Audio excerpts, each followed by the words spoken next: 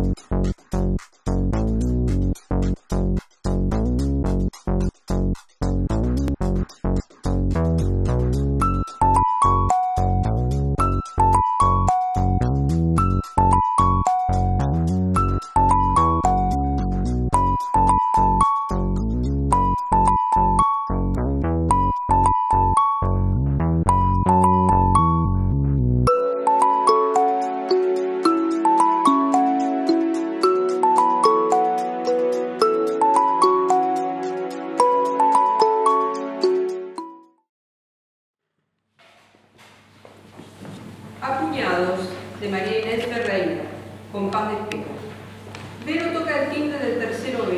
Ahí vive Leandro. Apoya el dedo un rato, abre Leandro y deja la puerta entreabierta. ¿Usted está loco? ¿Qué le pasa? Son las 3 de la mañana, le voy a meter una denuncia por medio molesto. Uy, sí, le pido mil disculpas. Entiendo que tenga que preparar su concierto, pero yo necesito dormir. Es que no me di cuenta, pensé que el edificio estaba vacío. ¿Quién le dijo eso? Yo, Vero, yo. Aparece Mirta. En camisón desde el interior del departamento de Leandro y abre toda la puerta. ¿No estabas de vacaciones vos? ¿No me ve? Acabo de llegar. Qué lindo lo habrás pasado. Debes estar exhausta. Se te ve espléndida, aunque un poco ojerosa. ¿Se van a quedar charlando acá en la puerta? Necesito dormir un par de horas. que Hasta las 7 tengo que estar en tribunales y usted sabe perfectamente mis horarios. Llegaste un día antes. Ah, perdón que no los presenté. Leandro, ella es Vero. Vero, él es Leandro, el pianista tan famoso del que te hablé y... Hola, hermosa. Ah, sí, sí, ¿qué tal? Sí, me di cuenta, con Santita no se observa. ¿Usted qué hace acá, Mirta? Escucho el concierto en vivo. En mi época se le decía ensayo con público. Es que la vibración del piano es maravillosa. Me emociono hasta las lágrimas y quedo con la piel de gallina. Es impresionante la velocidad de los dedos de Leandro. A veces lloro. Vengo todos los días desde hace una semana y... ¿Quiere escucharme, señorita? Quiero dormir. Perdón que insista. ¿Querés pasar a verlo? Vení, Mirta trae de la mano a Vero. Vení, ven. Acá vas a estar más cómoda. Mirta sienta a Vero. ¿Qué hacen? Si no aceptás su invitación, le estás haciendo un desaire. Yo no obligo a nadie a quedarse. Doy fe que vengo por puro placer. Tengo sueño y tengo resaca. ¿Les preparo un té? Para mí uno amargo y con limón. No, no, nada. Para Vero, un vaso de buen Malbec. Sí, sí. Ya probó. Leandro va a la cocina. ¿Ves ese pedal, Vero? Es la sordina y sirve para silenciar. Apaga el sonido. Él puede usar para estudiar. ¿El edificio está vacío otra vez? No lo puedo creer. Me fui 15 días nada más. ¿Quién se suicidó ahora? Los pocos que quedan apenas escuchan y... Qué deprimente. ¿Y este tipo cuándo se mudó? Hace 10 días. Leandro es el propietario de este departamento. Lo heredó de sus padres, que también se suicidaron. Se tiró a la terraza por el fondo del ascensor. Se ahorcaron. Qué bárbaro, igual que mi viejo. Llamé a Leandro y lo convencí para que se mudara. Estaba alquilando no sé en dónde. Desde que se suicidaron sus padres, este departamento estuvo siempre vacío. Ya le hice una limpieza espiritual para que haya una renovación energética, como la que hice del tuyo. Ah, y llegué a un acuerdo con el tema de las expensas. Ahora por lo menos vamos a tener a alguien viviendo en el tercer piso. ¿Qué tal tu viaje? Lo de siempre es así, caipirinhas a morir, playas nuditas, un choco por noche. Antes se decía que levante tenés, o sos una mina liberal, o simplemente estás hecha una loca. Mucha macoña. ¿Qué coña? Marihuana, Mirta, porros, los mejorcitos fumé. En mi época yo te hubiera dicho drogadicta. Vero sonríe, llega Leandro, trae el vino y el té. Bueno, acá tienen el tecito y el vinito. Gracias. Qué buen candidato. Vero y Mirta beben. Leandro se sienta en la banqueta del piano. Si te aburre lo que toco, Vero, te podés dormir ahí mismo. Ponete cómoda y hacé de cuenta que estás en tu casa. Leandro comienza a tocar el piano. Vero toma el vino y enseguida se duerme como un tronco. Leandro deja de tocar. Va al sofá, la mira y la tapa con una manta. Qué hermosa es. ¿Te parece que se fijará en mí? Como quien diría, esta mina me está volando. Disculpe que le consulte esto, es que usted para mí es... Soy su confidente, ¿no? Si me permite le aviso que el problema de Vero es que va con cualquiera. Hasta que me conozca bien y me elija como el único hombre de su vida. Yo lo elegiría sin pensarlo ni un segundo. Usted es lo que se dice un buen partido. Gracias, Mirta. Tome, le doy una entrada gratis para que me vaya a ver al pueblo. Se lo agradezco, pero se la voy a regalar a Vero. ¿Y usted?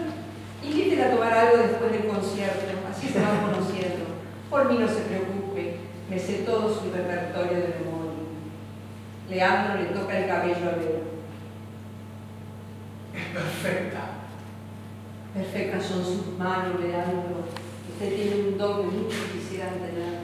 ¿Puedo tocarse? Leandro extiende sus manos y Mirta se las besa. Gracias. Gracias a usted. Mirta camina hacia la puerta.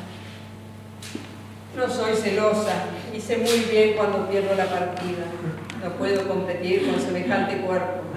Hacen linda pareja. En mi época, a una mujer despampanante como Vero le decíamos minón infernal. Mirta abre la puerta y se va. Leandro se sienta frente a Vero y la mira dormir. Desfasados. Vero está tirada en el sofá del living mirando el cel- el celular.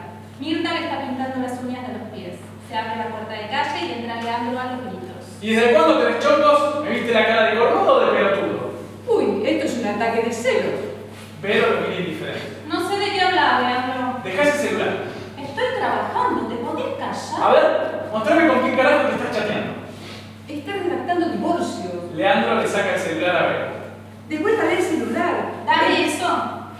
En mi época eso era invasión de la privacidad. Ahora no es lo mismo. Leandro le devuelve el celular a Vero. Déjame en paz, Leandro. Es decir, andate a la mierda. Vero se ríe, Leandro se sienta. Bueno, conversemos tranquilos. Estoy trabajando, te dije. ¿No tenés algún concierto para estudiar o algo que entretenerte? ¿Desde cuándo tenés chongo vos? No tengo por qué bancarme los cuernos que me estás poniendo. ¿Qué cuerno? ¿De dónde sacaste eso? Mirta me dijo que te estás preparando tu departamento de soltera para que vengan tus chongos. Ya está casi terminado. El otro pie también te lo pinto, Vero. Es que no lo sé perfecto. ¿Para quién? Los chongos trabajan conmigo, Leandro. Empleados, son los hacen su trabajo y se van. Así se dice, ¿no? ¿Qué matrimonio de mierda tenemos vos y yo, Vero? No me contaste nada, todo lo sé por Mirta.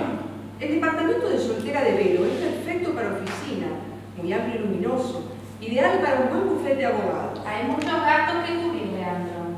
Los chongos pagarán las expensas. Yo me encargo, gracias por las uñas.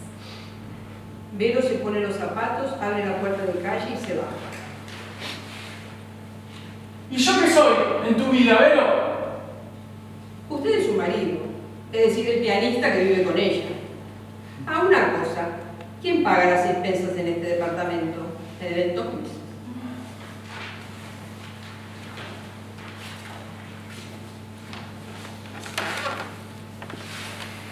Un vestido y una boda. Verónica está vestida y peinada para ir al casamiento de Mati, su hermano, con Romino. Se acerca al baño, golpea la puerta, adentro está Leandro. Salí del baño que vamos a llegar tarde al casamiento. ¿Te falta mucho? No soporto ver que la gente se case. ¿Qué decís? Dije que no soporto que la gente se siga casando. Vero intenta abrir la puerta y no puede. Mueve el picaporte. Abrí la puerta. ¿Qué tipo de cuestionamiento me haces hasta ahora? Esto es el colmo. El colmo es que tu hermano se case. ¿Y a vos qué te importa Es su vida? Te dije que no. Pero por favor, déjate de joder. No estoy jodiendo. Salí de ahí adentro, te dije. De acá no me muevo. Si gritamos así, Mirta va a llamar a la policía. Le tengo menos miedo a la policía que a vos. Sos un forro. ¿Por qué me haces esto, Leandro, sabiendo lo importante que es mi hermano para mí? Cuando alguien se casa me replanteo nuestro casamiento y todos los casamientos del mundo. Es un sacramento obsoleto porque cuando la gente se ama de verdad, no necesita casarse. No te aguanto más. Odio nuestro matrimonio. Odio todos los matrimonios. Vero sacude el picaporte con fuerza varias veces, patea la puerta. Salí del baño, hijo de puta, y da la cara. Tengo ganas de cagarte a trompadas. Decime todo eso, pero mirándome a los ojos. Cobarde. Solo los cowboys abren la abren las puertas. ¿Cómo no voy a ir al casamiento, al casamiento de mi único hermano? Con lo que le costó levantarse una mina. Si vas a esta fiesta, me voy a tirar por el hueco del ascensor. Golpea la puerta de calle. ¿Puedo ayudarte, Vero? ¿Querés que llame a la policía o preferís la línea de asistencia al suicida? Pero abre la puerta. Disculpe, mientras que... Qué lindo vestido te pusiste. Qué bien peinada. Estás hermosa. Ay, gracias, ¿le gusta? Una pinturita. ¿Quién tuviera esa figura para lucirlo? Bueno, bueno. Le han enloquecido, ¿no? Todos los días pasa algo raro en este edificio. Está embrujado. Ya son muchos los espíritus que andan deambulando. No quiere ir al casamiento de mi hermano. Ya sé. Te dije que escuché todo. ¿Hago un exorcismo o preferís una sesión de espiritismo? No, no entiendo, me voy sola. Leandro abre la puerta, está el calzoncillo. Vení para acá, Vero. Leandro, está muerta, ¿no la ves? Por mí no se preocupe. Si atravesás esa puerta, Si Vero. te ahorcas con la corbata de tu papá, Están Vamos. pasando por una tremenda crisis matrimonial familiar sin solución de continuidad. ¡Cállese! Me callo la boca, pero... ¡Váyase! Voy derechito a llamar a la policía. pausa. Se miran los tres.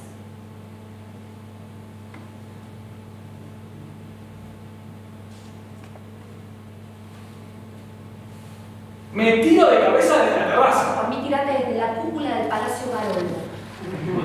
Vero se va. Pausa larga. Carmita. Usted tómese un té de tilo y a mí tráigame un buen mandel.